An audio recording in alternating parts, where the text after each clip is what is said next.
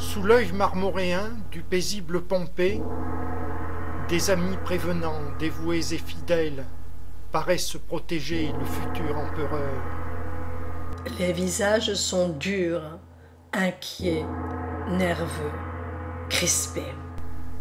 Discrètement dans l'ombre, on échange des signes.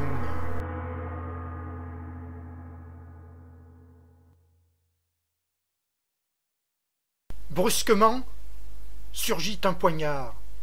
César s'effondre.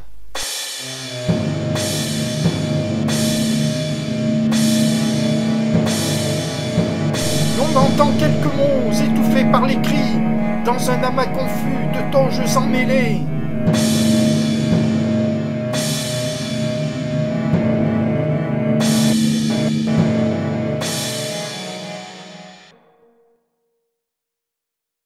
Puis un homme hébété, devant le corps sans vie, balbutiant, hésitant, dit Moi aussi, mon père.